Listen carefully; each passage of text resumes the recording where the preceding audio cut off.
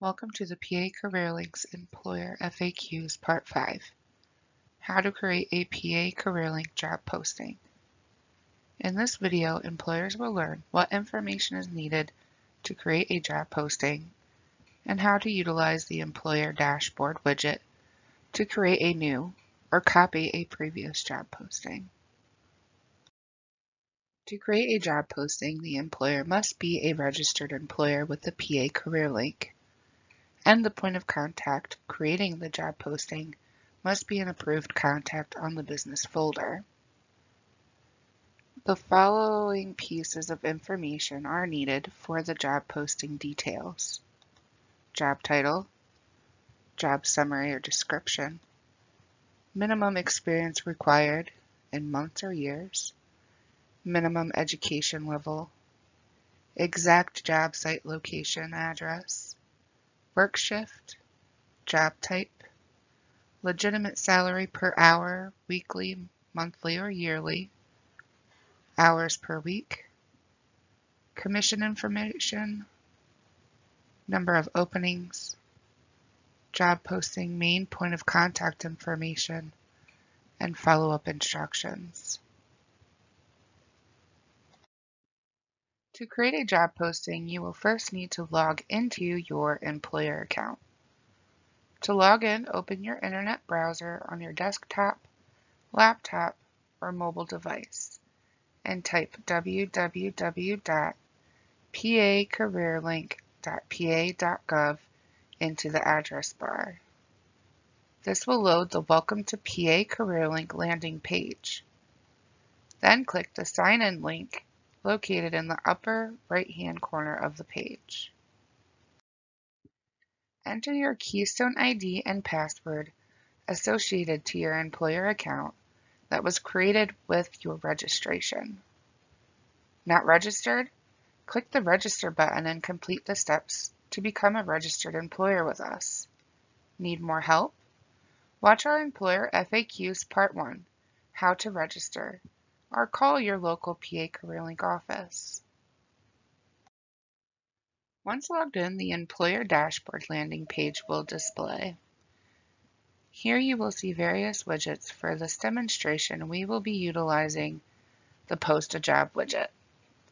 To learn more about the functions of the additional widgets, watch our Employer FAQs Part 4, Exploring Your Dashboard. Click the widget to open the job posting landing page. On this page, you can copy a previous job posting by selecting the drop-down menu in the gray box located at the top of the page.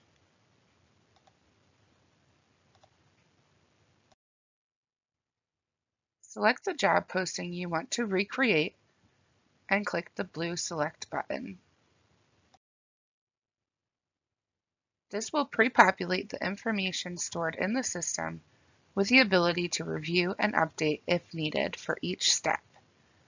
Click the Save and Continue button when review and editing is completed for each step.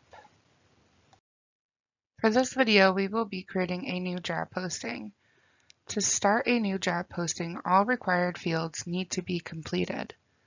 The first step is collecting all the basic information the job title, job summary, experience required, and education level. Click Save and Continue to proceed to the next step. Next, the job site details are needed. Note, if the job is remote, there is now an option to mark the Remote Job Radio button, which will no longer require a job site address. If you are an employer where there are multiple job sites, List your main office location and note that the job site location varies in the job description in step one.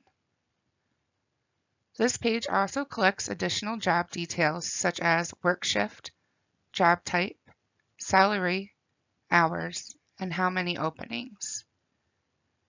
The minimum salary will need to be entered and accurate, but the employer is able to mark no under display salary to individual to show the job seeker competitive salary. Click blue Save and Continue button when complete. Next, the contact details are needed.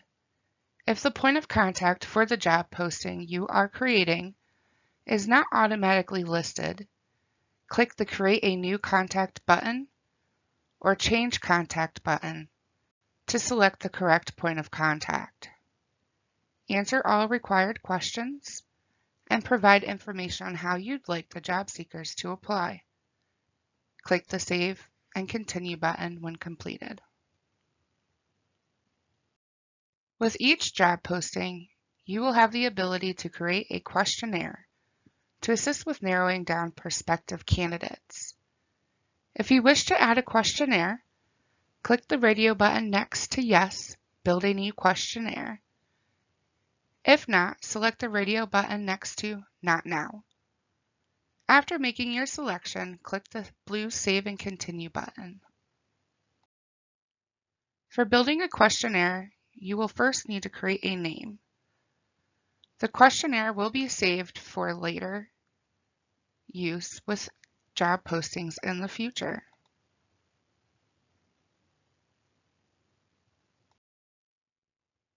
After completing the title, click the blue plus question button to add questions.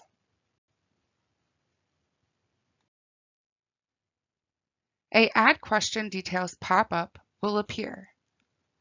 Start by selecting the question type by clicking the drop-down and selecting either multiple choice, multiple answers, multiple choice, one answer only, or essay box. When choosing multiple choice, multiple answers, or one answer only, you will type the question text in the question text box. And then list out answer options, one on each line.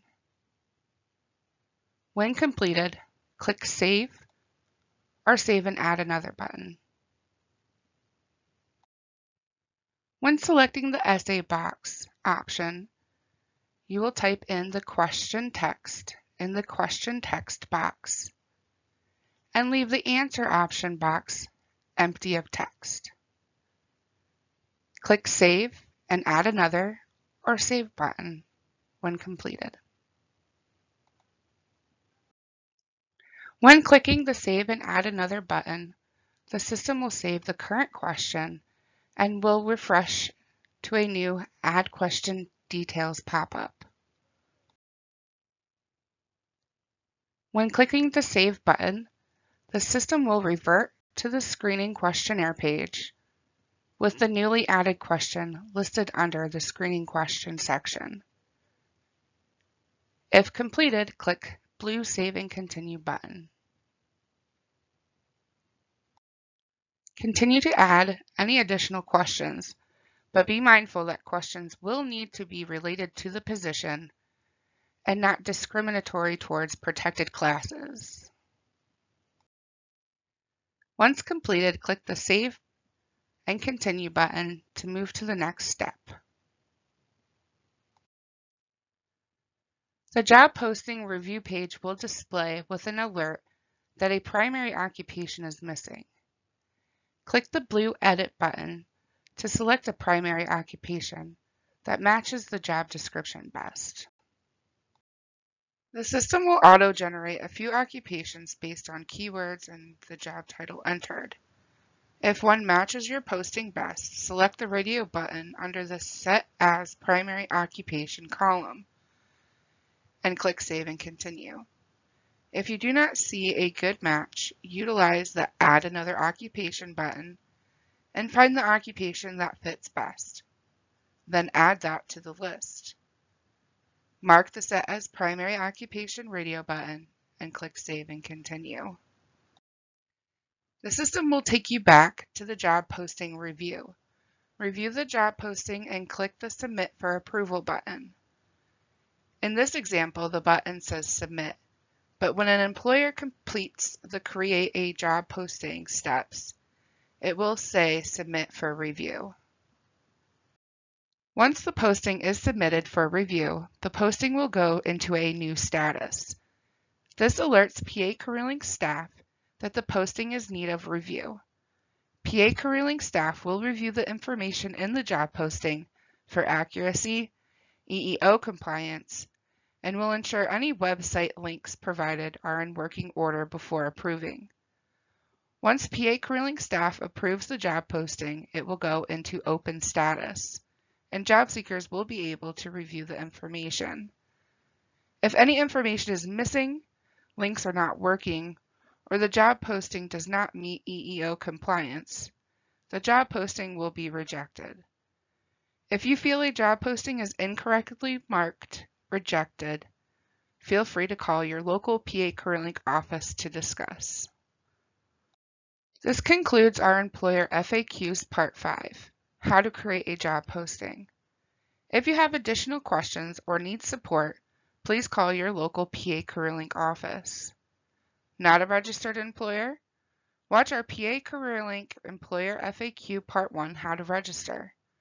Thank you for watching and make sure to subscribe for more informational videos.